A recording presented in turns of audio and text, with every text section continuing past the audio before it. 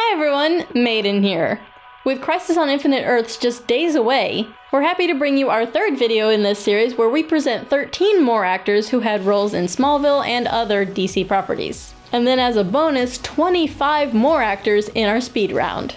Links to the first two parts of the series are in the description and at the end of this video, so let's get to it. Dean Cain is well known for his role of Superman slash Clark Kent in the Lois and Clark series. His portrayal of Clark was a far cry from Christopher Reeve's bumbling reporter and may have influenced Smallville, in which he also appeared as Dr. Curtis Knox, an immortal with a hidden agenda. Yes, this was supposed to be Vandal Savage, but they couldn't obtain rights to that name.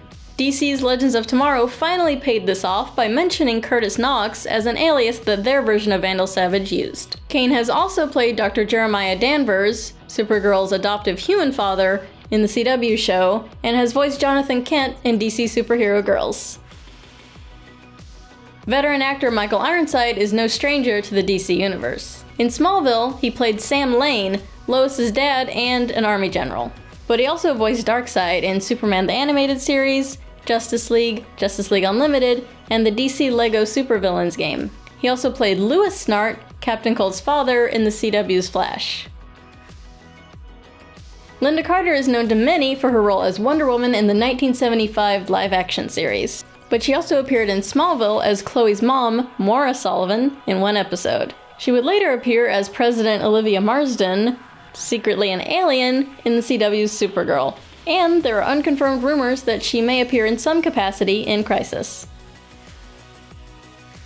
Hiro Kanagawa is a talented actor who appears all over the DC universe. In Smallville, he played Principal Kwan at Smallville High. Later, he would pop up as Lieutenant Peel in Human Target, Dr. Neil Lamb in two episodes of CW's Arrow, Lieutenant Suzuki in iZombie, and in DC's Legends of Tomorrow as Director Bennett of the Time Bureau. Erica Cerra is no stranger to the weirder shows of television and appeared in Smallville in three episodes as three different characters. In season 4 as Lex's aide, in season 5 as a sorority girl, and in season 10 as Adriana Tomas. She would go on to appear in an episode of Lucifer, which is based on the DC Comics property.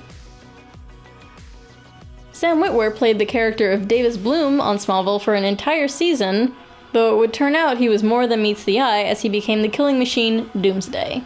But elsewhere in the DC universe, Witwer would go on to voice Orm in Justice League Throne of Atlantis and play Ben Lockwood, aka Agent Liberty, in CW's Supergirl. Terence Stamp is an incredible actor who played the first live action version of Zod in the Christopher Reeve Superman movies. He had quite the grudge against Jor-El, which makes it even more interesting that he ended up playing the voice of Jor-El in 23 episodes of Smallville. Speaking of Jor-El, he appeared in the flesh for two episodes, this time played by Julian Sands. But in 2015, he played Gerald Crane, father of future Bat villain Scarecrow Jonathan Crane on Fox's Gotham.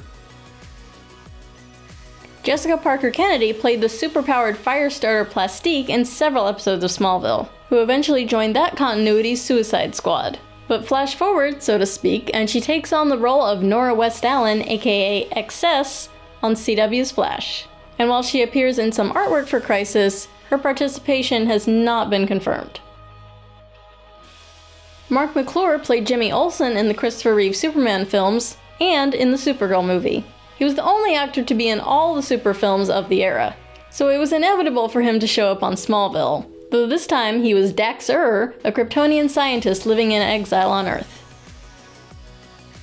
Teri Hatcher played Lois Lane in Lois and Clark The New Adventures of Superman. However, she played Ella Lane, the mother of Lois, in an episode of Smallville. Later, she played Rhea, mother of CW Supergirl's Mon-El, and the wife of someone they called Lar Gand, but Lar Gand is supposed to be Mon-El's real name.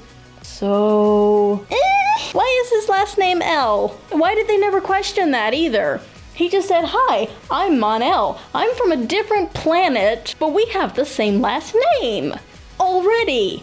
What's up with that? This is my dad, who has, you know, a Daxam name, but it's the name I'm supposed to have. You know, if his dad is named Lar Gand, there's no reason he can't be like Lar Gand Jr. Like, how hard would that be? How hard would it have been to make Streaky orange? Like, of all the things. How hard is it to find an orange cat? If I try hard enough, I could obtain an orange cat without leaving my block. You know, Brainiac's blue, and Saturn Girl is brunette, and like, no one is themselves. It's a mess. What's the next line? But anyway, the one they called Lar Gand was played by Kevin Sorbo, who almost got cast in the role of Clark Kent on Lois and Clark. Ted Whittall played Rick Flag on Smallville, a name that is very connected to the Suicide Squad in the DC Universe, as was the case with this version as well. But as a fun little Easter egg, he had a role as Admiral Olsen in the Suicide Squad movie. Finally, Allison Mack played Chloe Sullivan in Smallville, and she was one of few to be in the series from start to finish. She hasn't done much acting lately, but she voiced Power Girl in the Superman Batman Public Enemies movie, and a character named Clea in an animated Batman short. But wait! There's more. There are even more actors who were in Smallville and appeared in other DC shows. Since they only appeared in a few episodes though, we are gonna do a speed round. So here goes! Emmanuelle Vaugier was Dr. Helen Bryce on Smallville, and later appeared in an episode of Human Target. Michael Cassidy played Grant Gabriel, but later it was Jimmy Olsen in Batman v Superman. Adrian Holmes played two different characters on Smallville, and later appeared on Human Target and Arrow. Rekha Sharma was Dr. Hardin in Smallville and later appeared on Arrow as well. Anna Galvin went from Smallville to both Legends of Tomorrow and iZombie. Ari Cohen was also on iZombie after playing Regan Matthews on Smallville. Robert Wisden played Chloe's dad on Smallville, but later played Richard Nixon in Watchmen.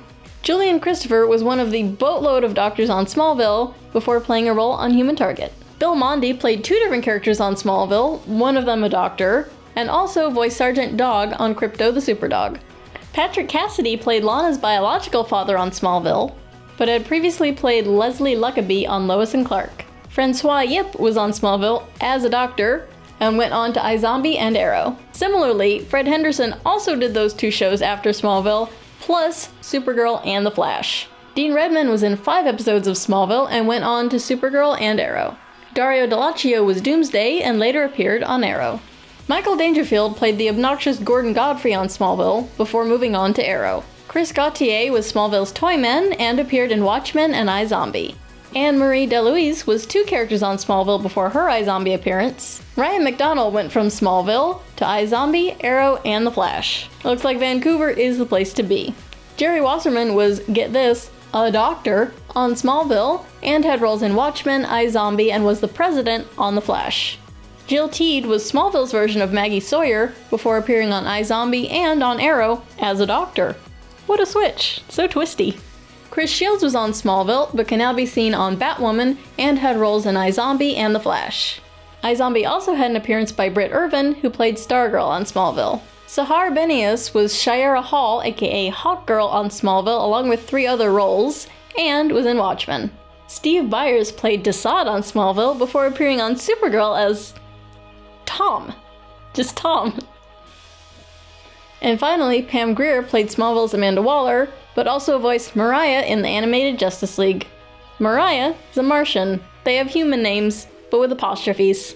You just put apostrophes anywhere and you suddenly have an original Martian name that was not influenced by human names at all. It's such a coincidence.